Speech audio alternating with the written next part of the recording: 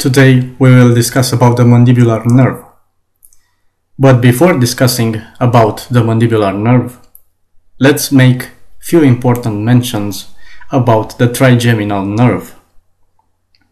As you can see, on this diagram, I have also indicated a longitudinal section through the brainstem, where using the yellow color, I have indicated the sensory nuclei of the trigeminal system, and those are the mesencephalic nucleus, the principal pontine nucleus, and the spinal trigeminal nucleus. Also using the brown color, I have indicated the motor nucleus of the trigeminal nerve or the masticatory nucleus. The large sensory root and the small motor root of the fifth nerve arise from the lateral pontine region, where the fibers pass through the brachium pontis. It is the sensory root that bears the large trigeminal ganglion, the equivalent of the dorsal root ganglion of a spinal nerve, from which the three great branches of the nerve arise.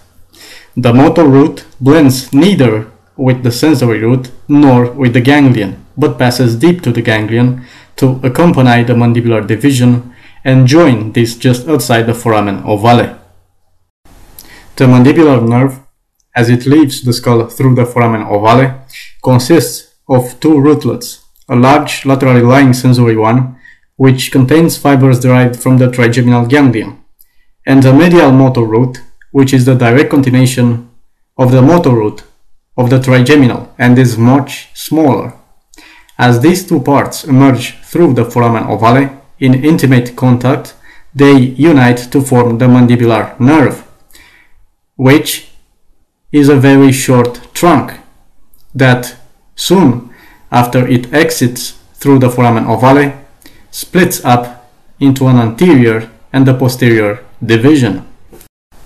Outside the skull, medially to the mandibular nerve, the otic ganglion is located. I have indicated the otic ganglion using the green color.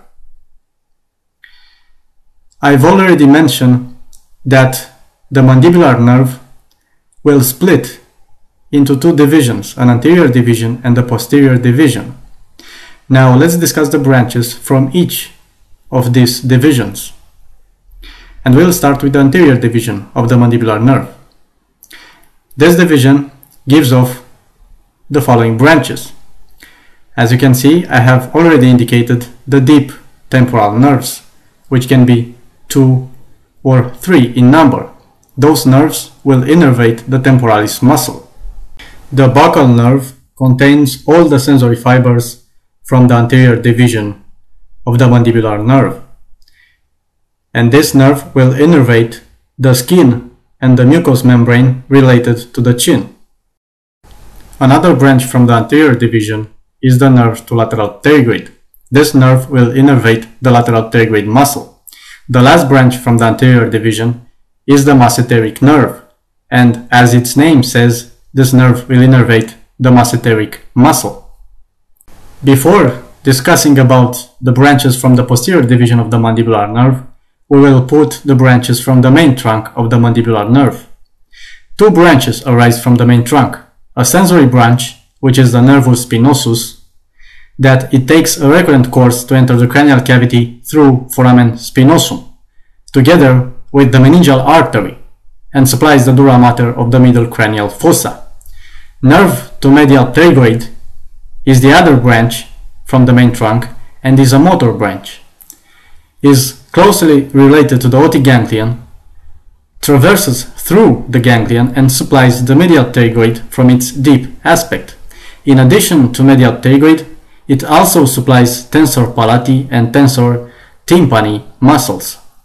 Now we are in a position to describe the branches from the posterior division of the mandibular nerve, and I will indicate those branches using the orange color. In contrast to the anterior division of the mandibular nerve, the posterior division is mainly sensory, and it contains only few motor fibers. The posterior division gives off three branches. and first to indicate is the lingual nerve. The lingual nerve is the smaller terminal branch of the posterior division of the mandibular nerve.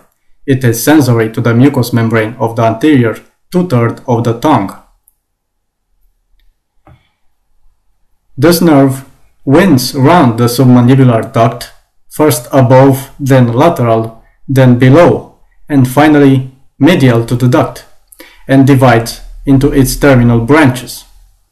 Its distribution provides sensory supply to the floor of mouth, lingual surface of the gum, and anterior two-thirds of the tongue. It also carries preganglionic secretomotor fibers to submandibular and sublingual salivary glands. Those fibers will indicate later. For now, I will indicate using the green color just the submandibular ganglion, which is a parasympathetic ganglion connected with the lingual nerve.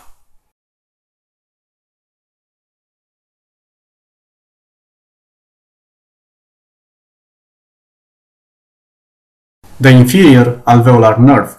It is the larger terminal branch of the posterior division of the mandibular nerve. It is a mixed nerve and receives all the motor fibers of the posterior division of the mandibular nerve.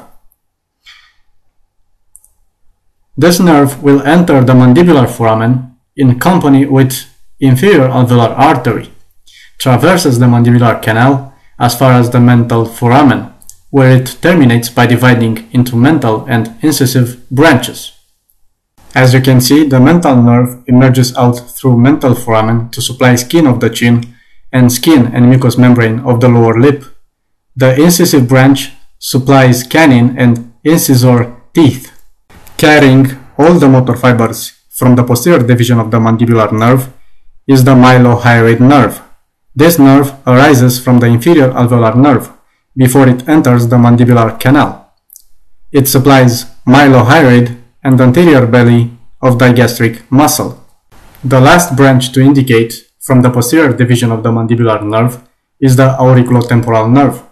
This nerve arises by two roots, which after encircling the middle meningeal artery unite to form the single trunk. It runs backwards medially to the neck of the mandible Behind the neck of the mandible it turns upwards and ascends over the root of zygoma to enter the temple behind the superficial temporal vessels. As you can observe, I'm indicating using the red color the middle meningeal artery. The middle meningeal artery is encircled by the roots of the auriculotemporal nerve. The auriculotemporal nerve is a sensory nerve and it gives off sensory branches. Those branches are auricular branches, articular branches that supply the temporal mandibular joint, and superficial temporal branches, which will supply the skin of the temple. To conclude this video, we will indicate the parasympathetic fibers that will provide secretomotor innervation to the salivary glands, the parotid, submandibular, and sublingual and we will start with the secretomotor innervation of the parotid gland. As you can see, I have indicated the glossopharyngeal nerve as it emerges from the medulla, and inferiorly I have indicated the two ganglions of the glossopharyngeal nerve, the superior ganglion and the inferior ganglion, using the blue color on the diagram with the brainstem I have indicated the inferior salivatory nucleus located at the level of the medulla. The glossopharyngeal nerve carries the parasympathetic preganglionic fibers which are originating in the inferior salivatory nucleus.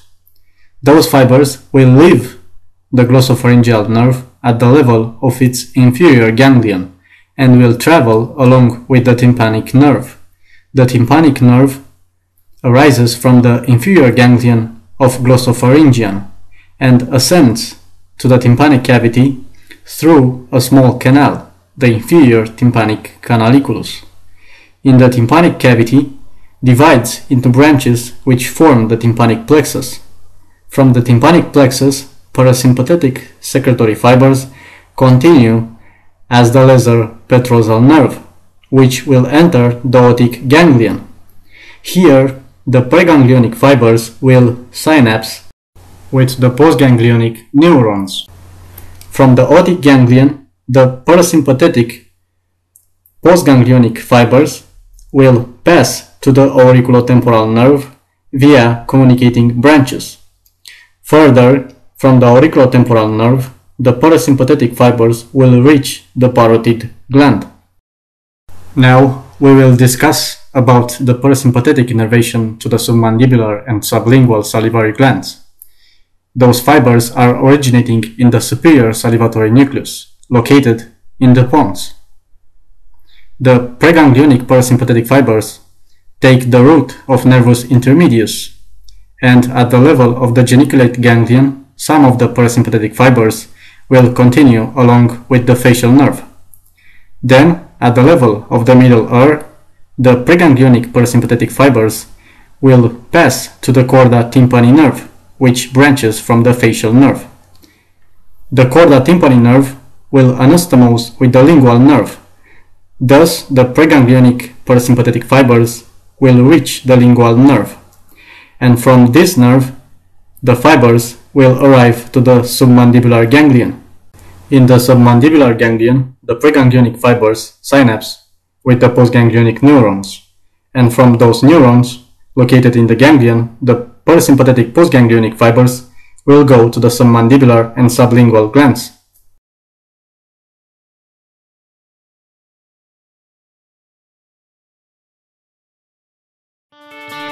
That's all for today. I hope this video was useful for you. See you next time. Bye.